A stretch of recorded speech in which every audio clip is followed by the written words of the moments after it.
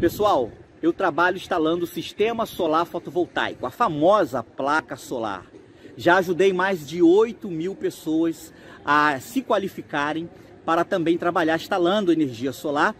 Na descrição desse vídeo aqui embaixo eu vou deixar um link com mais informações para você que também deseja trabalhar com energia solar. Olá amigos do curso Elétrica e CIA. Aqui é o seu amigo Alex Lima. Gente, mais um daqueles vídeos com informação técnica. Um dos nossos alunos que está fazendo o curso aqui na Eletricia perguntou, professor, o inversor on-grid, ele pode ficar em local que pega chuva, ou seja, o inversor pode molhar? E essa é uma informação muito importante. É, acompanhe comigo esse vídeo até o final, pois tem muitos instaladores, muitos técnicos que não conhecem o que eu vou passar. Beleza, gente? Olha, dia segunda-feira, dia 14, começa a semana do empreendedor solar. 14, 15 e 16, nós vamos acompanhar passo a passo a instalação de uma usina solar fotovoltaica. É um evento totalmente gratuito. Na descrição do vídeo você se matricula para poder participar e acompanhar essa instalação. Beleza, gente? Então vamos lá, olha. O, sistema, o inversor é, alguns inversores eles têm o um nível de proteção que pode receber pingos d'água, ou seja, se tiver numa área que chove, o inversor ele for, ele tem, né, o nível de proteção que pode chover nele, cair água que não tem problema. Os inversores, eles vêm com a sigla IP, que é a sigla que define o nível de proteção. Eu tenho que agora entrar aqui na tela do computador para estar tá mostrando um pouquinho disso para vocês e explicar melhor essa situação. Vamos lá. Então, beleza, gente. Olha, eu já estou aqui com essa tabela que vocês estão vendo aí com o nível, né? O grau de proteção IP. Então, nós temos sempre o IP e dois números, olha. Sempre depois do IP, dois números. O primeiro número é nessa tabela aqui onde está o mouse. Ó. O segundo número é essa tabela aqui em cima. Então, a partir do IP, é, a, o IP65, todos têm proteção contra a água. Olha, aqui no 5, olha, IP 65, 66, 67, 68 são os, os níveis de proteção que podem ficar debaixo d'água. O IP65 protege contra jatos d'água, aqui no 5. O 66, olha, protege contra jatos potentes de água. O IP67, olha aqui o mouse, protege contra imersão temporária. Já o IP68 protege contra submersão, tá? E aí nós vamos ver, por exemplo, esse modelo aqui da Fronius, tá? Numa, você sempre vai ter que olhar o manual técnico. Lá vem dizendo qual é o IP, o nível de proteção. Olha, o Fronius, olha aqui, olha.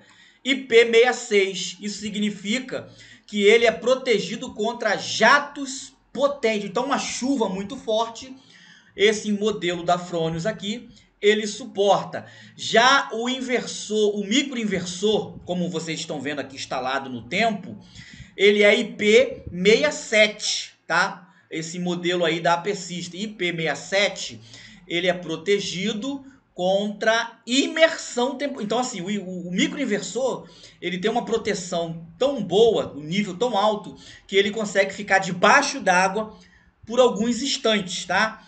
O IP67. Ah, então, você consulte qual é o projeto. Você vai fazer um projeto semelhante a esse, onde os inversores vão ter que ficar exposto no tempo. Então, você tem que procurar lá no manual o modelo do inversor, se ele vai ter é, essa proteção IP66, que é jato potente, ou seja, uma chuva muito forte.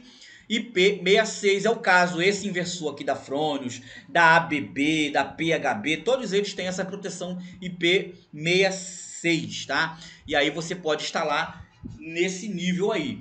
Ah, você vai instalar num cliente aí e eu, ele, ele pediu para ficar numa área externa basta que você procure o um modelo de inversor com proteção IP66. Tá? Você também pode instalar, olha aí, os inversores da ABB também vêm com esse nível de proteção IP66, certo? Existem alguns detalhes para esse tipo de instalação. Por exemplo, observe aqui o cabo, olha, olha o mouse. O cabo ele desce, faz a voltinha para depois subir. Por quê? Porque caso pingue água aqui no cabo, a água vai escorrer para cá para baixo e não vai subir para os conectores. Então, isso aqui é uma orientação, tá? Muitos instaladores não sabem disso. No nosso curso eu ensino isso, tá? Você tem que deixar essa volta aqui para quando pingar água, a água escorrer, cair aqui e não subir. Ela não vai vencer a gravidade. E aí os conectores vão ficar mais protegidos ainda numa situação dessa. Tá? Se o inversor não tiver proteção IP66, você tem que comprar armários com esse nível de proteção. Então você vai instalar o inversor dentro dos armários. Ou você precisa instalar dispositivo de proteção, fusível, que não tem aí essa proteção. Então você precisa comprar os armários. Então os armários que você vai instalar na sua usina fotovoltaica precisa desse tipo de proteção, tá? E aí você vai colocar os fusíveis dentro do armário. O armário vem com essa vedação IP66.